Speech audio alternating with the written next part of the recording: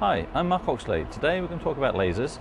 Um, ABB's been working in the industry for many years now, uh, in the tier ones, the automotive, and we've gained a great deal of experience. What we've learned over the years are the processes and how they've evolved, and this technology can now be adapted in everyday use in general industry.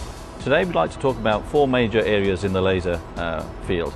That will be primarily the welding, traditional, laser hybrid, where you have the introduction of GMAW uh, steels and, and, exotic materials, cutting, and also roller hemming.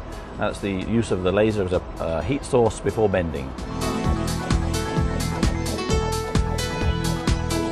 So what does laser technology bring to the table? Well, there's a lot of materials out there, aluminium, copper, titanium, they're very difficult to weld. The uh, high impact, high laser intensity enables these kind of processes to be welded. When using lasers, aesthetics play a great deal. Uh, the, the kind of weld you're going to get from a laser joint is going to look exceptionally attractive to your customers, to your process, and enables a very high quality product to be produced when using lasers. When you uh, join MIG welding process with laser, known as hybrid, you're introducing a high intensity arc to cause uh, deep penetration, good fusion, and you're backfilling with a wire appropriate to the materials.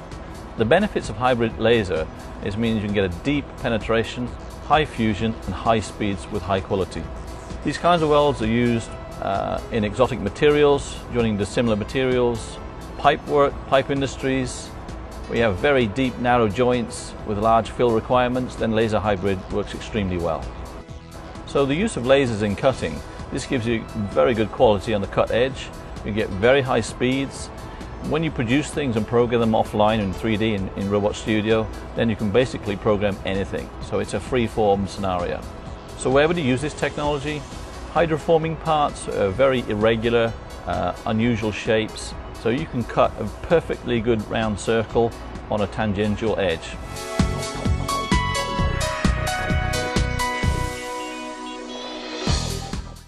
The use of laser uh, for forming materials is becoming more commonplace. We can apply heat before you bend a material, an example being magnesium when you roller hemming. Other materials can be heated. You can use it for preheating and cutting as well, for exchange very difficult materials that require high speeds. If you heat it with a laser before you cut it, then you get exceptionally good results.